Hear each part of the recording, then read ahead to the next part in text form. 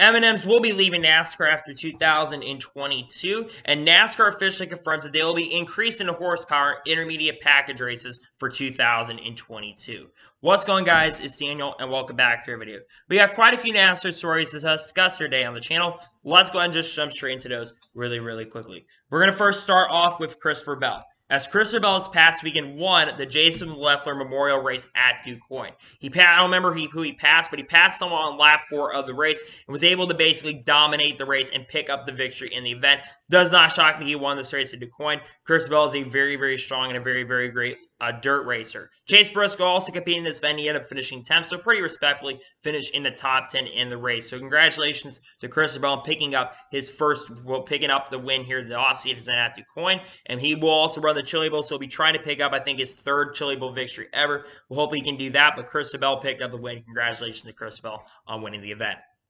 And now go ahead and jump on to the next story of today's episode, as we're going to talk about Tony Stewart. As Tony Stewart still has it, as Tony Stewart actually this past weekend competed in the 23rd Rumble at Fort Wayne, in Fort Wayne, Indiana. I don't remember what the track is called, but I think it's called at Fort Wayne. And Tony Stewart was able to not only win the race, but he dominated and picked up another race victory. Does not surprise me. Tony Stewart knows still, even above the age of 50, Tony Stewart knows how to get it done still to this day in the racing world. He always goes out and competes in racing events and And it's really cool to see that Tony Stewart was able to go out there win. Very happy to see that. And I'm very, really cool to see that a driver like Tony Stewart can still get it done on the racetrack.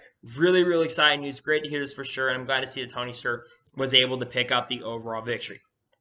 And now we're going to jump on to the next story of today's episode as we're going to talk about Carl Edwards. Now, Carl Edwards actually was spotted in a Facebook post, and a friend of mine on Twitter, Brendan Keeler, posted this on Twitter, and he says that he saw Carl Edwards in Kentucky, basically helping out the victims of the tornadoes in Kentucky. Carl Edwards has always been a class act driver, in my honest opinion, has always been a class act on and off the racetrack. I know a lot of people bring up the Matt Kenseth situation. When him and Matt Kenseth got into it, but let's be for real. They were basically not happy with each other after a race. It's just racing. It was 2007. But Carl Edwards has always been a classic. Now, from what I've heard, there are a lot of drivers and people in the industry that have been helping out. Rick Allen apparently has been out there with Team Rubicon that has been helping. But Carl Edwards does this without social media. He really has never been on social media to begin with, and he does this off, off of social media, which is really, really cool to see. And the fact that we get to see Carl Edwards continue to be a classic and help out with tornadoes is really, really awesome to see. And I thought it was really, really great to see. And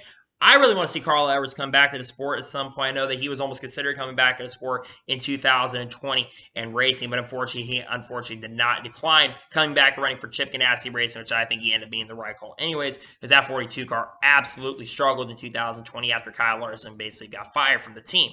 But Carl Edwards, I like to see him come back, but it's really cool to see that Carl Edwards was spotted. I'm really happy to see this for sure that Carl Edwards is able to get it done. Really happy about this, and hopefully, maybe Carl Edwards can come back to the sport one day. And now we're going to jump on to the next story of today's episode, as we're going to talk about Trackhouse Racing. As Trackhouse Racing is officially going to be entering the Chili Bowl Nationals in 2022.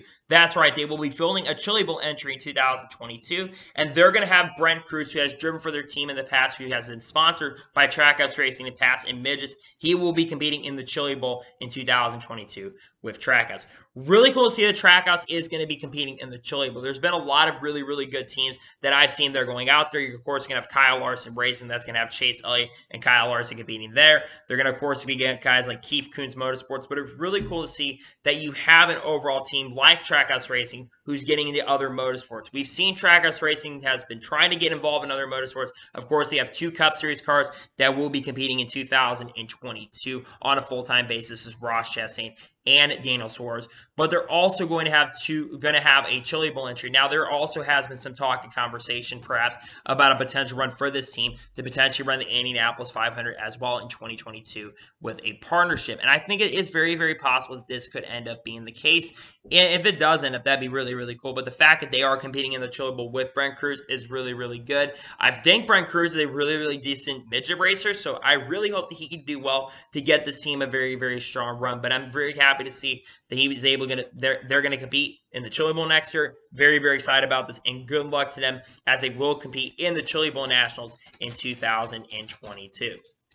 And now we're going to ahead and jump on to the next story of today's episode, as we're going to talk about TJ Fabian. As was announced yesterday and reported by Jim Utter, the NASCAR Cup Series director Jay Fabian, who has been temporarily stepped away from his role, has a new court date on January 3rd in NC Superior Court to face two felony and one misdemeanor charges of animal cruelty. Jay Fabian has been basically out of sport for the last few months, really since August, and he had basically been the race director in the NASCAR Cup Series. But and he's done was a really terrible director in the Cup Series. One of the biggest reasons why we've had issues. Now, like I said, he basically was accused of animal cruelty, and currently right now he's basically been stepped away from the sport. And had originally a court date was supposed to be set for I think for December, basically was set for yesterday.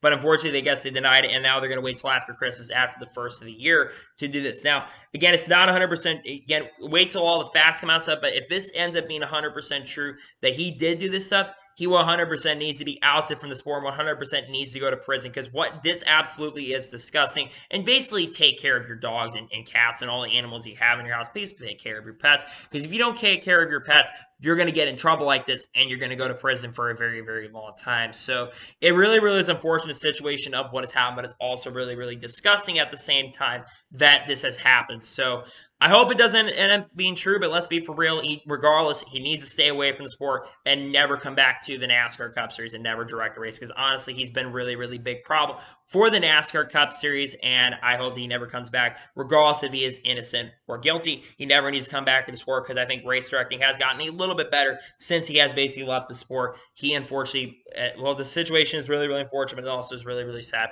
at the same time. Definitely really, really unfortunate for sure. And now we're going to jump on to the next story of today's episode. Is we're talking about TJ Majors. As TJ Majors confirmed on the Red Bumper Clear podcast, which is a podcast that he's on, that he's going to spot for Brandon Brown in the NASCAR Xfinity Series in 2022. TJ Majors will also be spotting in the NASCAR Cup Series for Brad Keselowski in the Cup Series at RFK Racing in 2022. TJ Majors is an excellent spotter to have. He's a guy that knows how to get it done. He's been spotting for many, many years. He spotted for Dale Earnhardt Jr., and Dale Earnhardt Jr. was the one who discovered TJ Majors in a race on iRacing, and he was associated with Dale Jr. for many, many years in his NASCAR Cup Series career, and he got to basically work with him in a lot of sports of his career. Then he started working with Joey Logano from, I think, around 2008, 2017, or 2008 after Dale Jr. retired. Started working with Joey Logano in 2018. And then in 2021, it made some changes where he worked is now going to be working with Brad Keselowski at RFK Racing in 2022, along with spotting for Brandon Brown. Like I said, this guy is an excellent spotter. I know he's very, very controversial on Door Bumper Clear podcast, but when it comes to the spotting game, TJ Majors knows how to get it done. He knows what he's doing. And I think that Brandon Brown just got a huge benefactor to help him out next year. Brandon Brown is a guy that I think has a lot of potential to really take off in the sport as an underdog of the NASCAR Xfinity Series. I think he's going to be a really, really big asset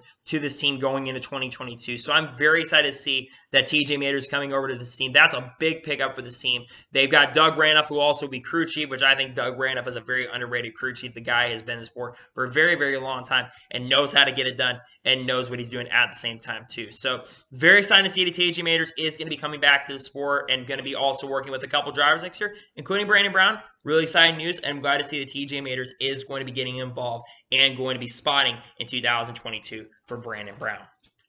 And now we're going to and jump on to the next story of today's episode, as we're going to talk about the LA Coliseum. Now, we talked about this this past week, I think a couple days ago on Saturday, about the construction of the LA Coliseum. Now, the construction of the LA Coliseum is beginning as of right now, as of I think today or yesterday. They are beginning it, as there was a post by Michael Waltrip posted up not too long ago, that they are beginning work on the LA Coliseum. There was a rendering that was put out by Adam Stern. There was a trailer that came out yesterday. We got actually checked out the trailer, and I think it was a really, really good promotion and a really, really good trailer as well. Along with that, there was a rendering that actually came out of the LA Coliseum track. This track looks absolutely amazing, especially under the lights on Sunday. Well, it's going to be a, a, technically a day race that will transition into a night race. It's going to be, I think, a very fun event for the fans. And we're only 47 days away technically from the Clash. I'm really overall excited for that, that we're going to have a NASCAR Cup Series race kick off in early February. It's going to be the week between, the week before, the, after the Super, it's going to be the week before, it's going to be the same week, a week before the Super Bowl, and then you're going to have the Super Bowl week And then, of course, you have Daytona 500. But the only Coliseum, they're going to have a lot of new fans. According to reports by Adam Stern, 60% of new fans are going to be fans going to this race are fans that have never been to a NASCAR Cup Series race, I think that's one thing that is really, really cool and extremely exciting. That's one really, really awesome thing. But at the same time, I think the, the rendering looks really, really great. I'm looking forward to this race. I think the rendering looks amazing, looks really, really awesome and cool. And I'm overall extremely excited to see what happens. Really excited about it for sure. And this rendering looks really, really awesome. And I want to go to the event, but unfortunately, I won't be able to make it out. But if they have this event come back in 2023, you never know. I might be out there and go into my first ever short track race. So really, really exciting about that. I'm happy to see that that's going to be the case if that is the rendering. And now going ahead and jump on to the next story of today's episode, as we're going to talk about SQR development, as there is going to be a new NASCAR Xfinity Series team in 2022. This is going to be formed by a former Start and Park driver named JC Stout, who is forming a new Xfinity Series team called SQR Development. They have purchased chassis from Joe Gibbs Racing and engines from Joe Gibbs Racing. They're planning to run 10 to 12 races in 2022, and their first race is going to be at Richmond International Raceway. And apparently, they've been talking to a couple drivers that are really, really well known and notable drivers in racing who could potentially be getting into this car in 2022. First of all, JC Stout has not raced in NASCAR, I think, since 2010 and 2011. It has never competed in the NASCAR Cup Series. Had a ton of starts in the Camping World Truck Series, albeit many of them were failed to qualify. And it was a driver who was a start in park. He made some starts for MSRP Motorsports, which is also, I think, the same team that we saw a couple other drivers, including Scott Wimmer, who competed for their organization, among other drivers who competed for their organization. But when you look at this team, I think it's really cool that you have another team, and they're only going to be a part time organization. First of all, do I think they show up next year? I absolutely think they do. JC Stout was a driver, a former driver in the sport. I think they will show up to the racetrack at Richmond. I would expect that they will show up. The other big question is what potential drivers could they be talking to? Maybe they're talking to Matt Benedetto somehow. I know it's a little bit crazy to bring up Matt Benedetto, but maybe they're talking about Matt Benedetto about potentially making starts for him. That's a potential guy they could be talking to. And Matt DiBenedetto would be a decent driver, in my opinion, to get into a ride. If that is not potentially, if he's not going to go back to the Cup Series next year, which I don't think it's very, very likely that he is going to go back to the Cup Series next year. Maybe they're talking to Matt DiBenedetto to get into a ride. Maybe they're talking to Ryan Newman, perhaps, to get into the ride next year. Ryan Newman absolutely is a driver I think will be a great driver to help start up an organization and a driver who's also been in the NASCAR Xfinity Series, has won races in Xfinity, and has also won a lot of races, and is an engineer, by the way, who could really help out a team. Maybe they're talking to them. Who really knows who they could be talking to right now? Maybe Ryan Preece is also being considered, but I think Ryan Preece is going to have a full time ride in some sort of capacity next year. I just think that with what I've heard, he will probably have a ride next year. So this is really, really cool that you're going to have a new Xfinity Series team uh, on the rise next year. I think it's really, really exciting. Really, really great for the sport. They have a new team that's coming in. Really, really exciting. I'm glad to see that we'll see a new Xfinity Series team in 2022, albeit it's part time, but really cool to see that there's going to be a new Xfinity Series team in 2022. And now we're going to jump on to the next story of today's episode, as we're going to talk about Brandon Brown. Now, Brandon Brown spoke to the New York Times about the Let's Go Brandon chant. To give a little bit of a backstory on the Let's Go Brandon chant, Brandon Brown picked up his first career NASCAR Xfinity Series victory in 2021 at Talladega. And at the time, there was a front stretch interviews. We'll get into front stretch interviews here in just a second, but there was a front stretch interview after the race of his emotions. And the crowd was saying F Joe Biden, of course, on TV. And then Kelli Stavast, who worked for NBC, she said, let's go Brandon. And basically everyone turned out and basically was the new way that they said F Joe Biden. They changed it to let's go Brandon. You people basically trademarking the name and stuff. To me, I think I feel really bad for Brandon Brown in the situation. I also really kind of also, even though Kelly Savitz kind of caused the situation, I really kind of feel bad for Kelly Savitz at the same time because they did not defend Kelly Savitz. No one at NBC defended her. No one defended her. Basically said that she was. Some people were saying that she was covering up the situation, which to me, I don't think she really cares about politics. So I don't understand why people, even on the conservative side, were basically saying that they that she knew what she was talking about and basically twisting. Maybe she was doing that, but in my opinion, I don't entirely 100% think that's the case. While during the interview, he also said that he's trying to turn the "Let's Go Brandon" chant phrase into a more of a positive, which I actually like that he's trying to turn it into a positive because one thing that I'm really think for me is I'm not a big fan of the "Let's Go Brandon" chant. Personally, one of the big reasons why I'm not a big fan is number one, it's one to political. I'm not overall the biggest fan of political chants. I've been trying to get out of the political landscape for the last couple of years. I was really into politics a few years ago, but I really don't 100% care about politics. One, it's extremely toxic, and I'm not a big fan of, of politics. End of the story right there.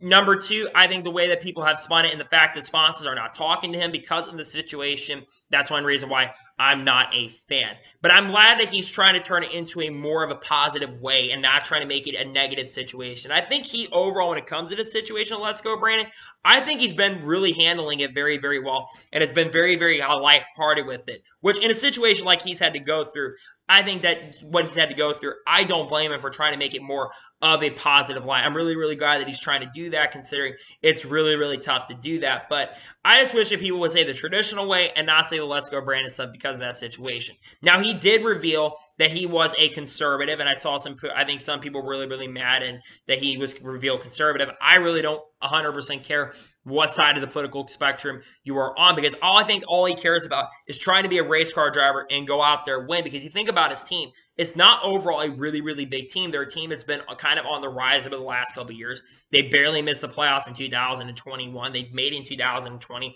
and were very very consistent over time.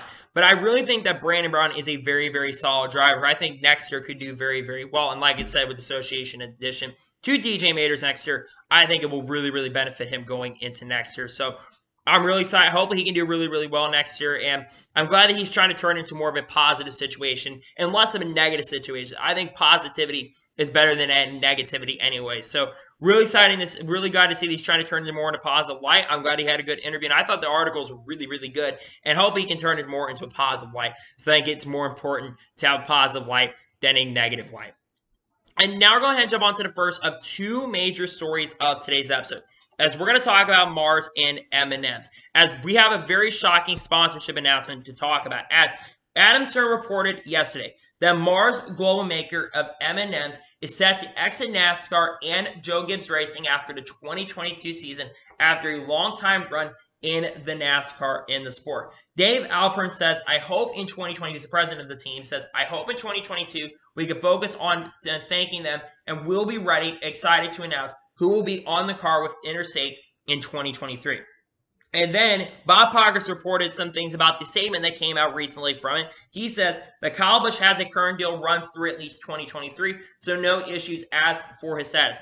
First thing, I'm a little shocked that he has a contract right now only through 2023. I thought his contract was only through 2022, but Kyle Busch will not have problems with returning to the team. I think that he'll be in the Cup Series for a lot longer than 2023. Team was notified this last summer and has been working on sponsors, all pitching to Kyle. Now, I think that they would basically have not just said in the original statement. I think that basically what they would have said would not have said originally that they would have not been ready to announce the sponsor if they already did not know. There also Bob Pockrass supported this too, and this is something really really cool. Good opportunity for Kyle to find a sponsor who wants to do the Indianapolis 500 as well. Now, there actually was talk last year about Kyle Busch potentially running the Indianapolis 500, and unfortunately that got turned down. It originally was he was supposed to go and potentially run for Team Penske and a fourth or fifth Team Penske car in 2022 in the Indy 500, but unfortunately ended up getting declined by sponsors, and also I think Joe Gibbs declined him for running Indy 500. So potentially you could have not only Kyle Busch running, Kyle Larson and Jimmie Johnson running, because Kyle Larson also could potentially run it, but also Kyle Busch, a two-time NASCAR Cup Series champion, could run for an organization. It would not shock me if, if it's not Kyle Larson getting ride. It would not shock me if it's Kyle Busch who's getting in the ride for this team in 2022. But the fact that Kyle Busch could run the Indy 500 is really, really cool. Now, it was also reported later that Dave Alpern said the deal was featuring a good return on investment, and Mars wants to try some new things. And I'll talk about this here just for a second in regards to Mars and M&M's. To me, this is not ending on a bad terms. This is ending on much better terms. And when it comes to big companies, especially like this, even when they're getting a good return on investment, because you have the B2B consumers. A lot of these companies nowadays, they're not about the consumers. They're about the products inside the teams. There's a reason why Pennzoil is basically sponsored Joe Logano all season because Penske has Shell Pennzoil inside their cars. That's why Shell sponsors them every pretty much every single race for Joey Logano. That's why certain sponsors are leaving. And you think about all these sponsors, and what happens is a lot of times you get a lot of new CEOs and a lot of new people inside the company who are not as big of racing fans as the other things. Just look at Lowe's. Lowe's, their old CEO, was a huge fan of racing, but the new CEO who came in and took over wasn't a big fan of racing, and they're focusing on football and really ended the terms with Jimmie Johnson on really, really bad light in 2018 when it was announced that they were going to be leaving after 2018. That kind of ended on a really, really bad note. Also, you think about other companies like Subway. They left the sport because of a change of CEO, but they came back recently with Kevin Harvick because they I think they had a new change of CEO not too long ago, and they changed that up right there. Home Depot was the same thing, and Dollar General was the same thing. Companies leave because of change of CEOs, and a lot of time these companies don't really have an agenda when it comes to racing, and they have an agenda when it comes to other sponsors. Now, big question I have is who could potentially be a replacement sponsor for Kyle Busch in starting in 2023? Well, we know Interstate Batteries, they're going to continue being sponsored for Kyle Busch in 2023. We know that they're going to continue sponsoring KFB. I wouldn't be shocked if Rowdy Energy would step up to the plate. I know Rowdy Energy is a company that really has only been around for a couple years, and they're kind of a company that's not as big as other companies. But I think by 2023, they're going to be a growing sponsor. I think that they will sponsor Kyle Busch in 2022, 2023. I think they may sponsor Kyle Busch in 2022, to be honest with you. I think that that sponsor will grow, and it's been one of the fastest growing energy drinks I think I've seen. I've seen it in every single shelf. By the way, Rowdy Energy, if you've never had it, I definitely suggest you try it because I think it's really, really good. And it's not actually the worst thing for you, even though it's an energy drink. It's not the worst thing for you because it's got green tea elements in there, which is not a bad thing. It's actually better for you than like a Bang Energy or other companies and stuff. Maybe Kellogg's comes back. I know people have brought up potentially a return of Kellogg's, and Kellogg's could absolutely be the case. But what other sponsor it's going to be? Oh, maybe SERVPRO. SERVPRO sponsor his, his son Brexton in the lower series is, is late little uh, local little midgets. Why not try that? Maybe SERVPRO can come up and sponsor KFB. That's possibility. But I think that Kyle Busch will find a sponsor for next year. I also think that a lot of people I've saw seen a few couple people bring this up about the future of KFB if he's potentially going to retire from the Cup Series after 2023. Not going to be the case, I don't think. I think KFB will release race for two more years, at least probably till around 2025 to 2026. Because I think by 2025 and 2026, one, I think he'll win quite a few more races in the NASCAR Cup Series. But I also think Kyle Busch is going to want to potentially consider dropping down to the NASCAR Camp World Truck Series and potentially wanting to try to go out there and win a Camping World Truck Series championship to become the only driver to have won in all three series. Kyle Busch has a, a daughter that's on the way too, and Brexton is going to be a lot older by that point. Brexton by 2025 and 2026 He's going to be around 10 to 11 years old. And Brexton is already racing. And I think by that point, Kyle Busch is potentially going to want to focus on that. But I don't think Kyle Busch is going to be around as much longer. I know people potentially bring up Ty Gibbs maybe replace KFB in like 2023 and 2024. Not going to be the case. I think if Ty Gibbs is going to come up to the Cup Series in 2023, I think that Ty Gibbs will replace Martin Truex Jr. I think Martin Truex Jr. will lead the sport. Will potentially, if there's going to be a replacement, for him, it's going to be Martin Truex Jr. who's going to get replaced. I just think MTJ has a really, really strong chance of unfortunately leaving the sport after 2023. I think Martin Truex Jr. Uh, Ty Gibbs potentially could replace him, and MTJ could also retire after 2022. I know some people have potentially brought that he could retire, but we'll have to wait and see what happens. But it sucks at M&M's because M&M's is one of the most iconic brands. M&M's has been in NASCAR, and the Mars brand has been really around since 1990. If you think about it, they sponsored Bobby Hillin Jr. back in 1990. They sponsored drivers like Kyle Busch, of course. They sponsored Ricky, uh, not Ricky. Yeah, they sponsored Ricky Rudd. Snickers, I think, is associated with Mars brand, if I'm not mistaken. They sponsored Elliott Sadler. They sponsored Derrike Cope, Ken Schrader. They've had a long-term sponsorship in the sport, and it is really disappointing that they unfortunately are leaving the sport after this year. The fact that they're leaving really, really is sad. But it is what it is. It's a changing company. It is what it is. It's not really the end of the world, and it kind of it does suck, but it is what it is. And hopefully, they're able to find a sponsor for Kyle Busch here really, really soon. Now we're going to head jump on to the final major story of today's episode, as we're going to talk about the next gen horsepower and the size of the spoiler as well. As NASCAR has officially confirmed what is expected to be, as NASCAR is going to use the 670 horsepower package with 4 inch spoiler in 2022 except Daytona and Talladega and possibly Atlanta, pending the test that comes up in January, because there's going to be a next gen test that's going to be taking place in January and a tire test that's going to determine what package you're going to run. It's possible they're going to run 510 horsepower in 2022. First of all, I am super stoked and super excited that NASCAR has decided to go ahead and increase the horsepower for 2022. But first, before I get into my official opinions, let's read what Steve O'Donnell said today to Sirius XM. He said, After hours of wind tunnel and on track testing, as well as feedback from drivers and tar- larger industry, NASCAR will move the higher horsepower, lower downforce for each of its non super speedway NASCAR Cup Series events in 2022.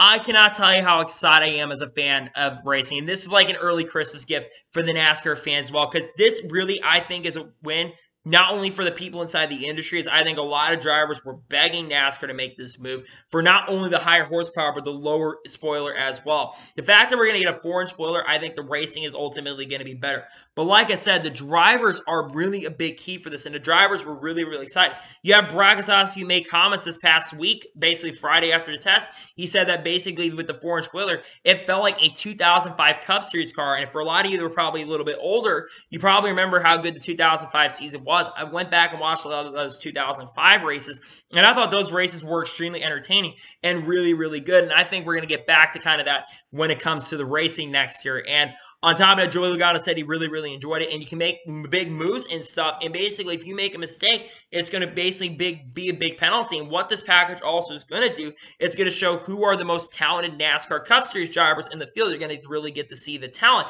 and of course, you're going to see people be able to push it and stuff. And another big thing is finally off throttle time at intermediate tracks. We've been dealing with full throttle racing at intermediate tracks for the last couple years. And the fact that we're not going to have to really do a full throttle racing anymore, except at a couple racetracks, of course, but that's no surprise in super speed races, which those races ultimately are exciting. Anyways, the fact that we're going to get to see no more of this full throttle racing at mile and a half tracks is really, really good. Now, one thing you know is that not every single race next year is going to be perfect. There are going to be races next year that are probably going to be dominant, and not every single race is going to be absolutely picture perfect. But I think overall going into next year, I think the racing absolutely is going to be a lot better. You're going to get to see the driver talent from the NASCAR Cup Series field. You're going to get to see a lot more car control from drivers, and you're going to see a lot of drivers happy. And there's already been so many drivers that have been happy. Like I said, Brad Keselowski, Joey Logano. I think every driver will be extremely happy about this. You've got Cup Series drivers on Twitter right now, Chase Briscoe and Ricky Stenhouse Jr. among those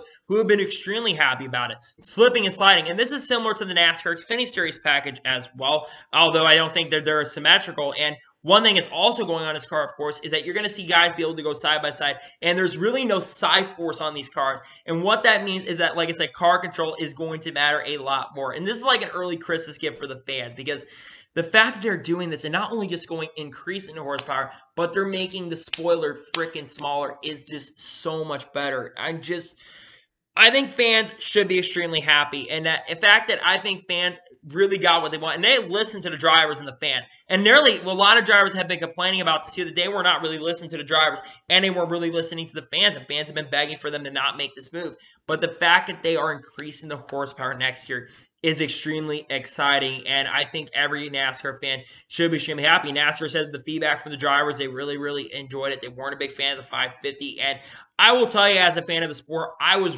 really concerned about a, about two or three weeks ago. I was not really excited for a lot of the races in 2022. I was really, really worried going into 2022 because the 550 package, the test they had at Charlotte, drivers were unhappy. Mark Truex Jr., Kevin Harvick, Kyle Busch, well, not Mark Kyle Busch because Kyle Busch didn't test the car, but yeah, Kevin Harvick, Mark Truex Jr. were really, really concerned, and they wanted a little bit more horsepower in the car. Well, NASCAR listened to them. They had the test, and again, I was not really excited for 2022 as much as I am now.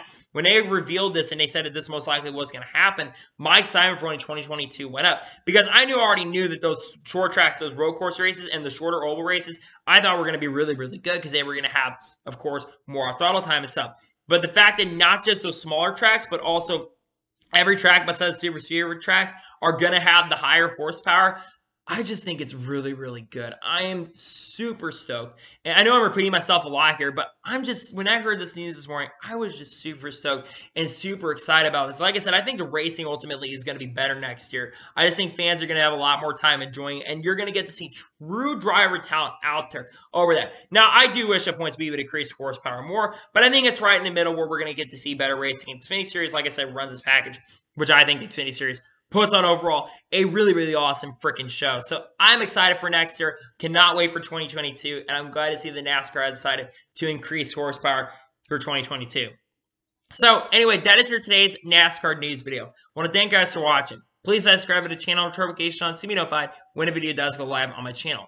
Follow me on Twitter, Facebook, and Instagram, and support our page as well. Let's schedule above for that, and comment below your thoughts on today's video. What are your thoughts about NASCAR increasing horsepower in 2022? Are you excited about it or not? Let me know in the comments below. And what are your thoughts about M&M's leaving the sport? Who do you think will replace M&M's in 2022? Let me know in the comments below. I'm not sure if this will be the last NASCAR news video before Christmas. This might be the last one, but I do have a couple more videos that are I'm planning to get out before Christmas. But if you don't see me until then, I wish you all a very, very happy Christmas. But I should hopefully have a couple more videos out here before there are. I have one or two more big videos I want to get out for. So hopefully we'll see you guys then. And I'll have a couple more videos that will be on the way for you guys going into the next portion of the weeks. But anyway, like I said, to thank you guys for watching today's video, and I'll see you guys next time for some more great other motorsports content and NASCAR content on the channel like this. Take care, everybody.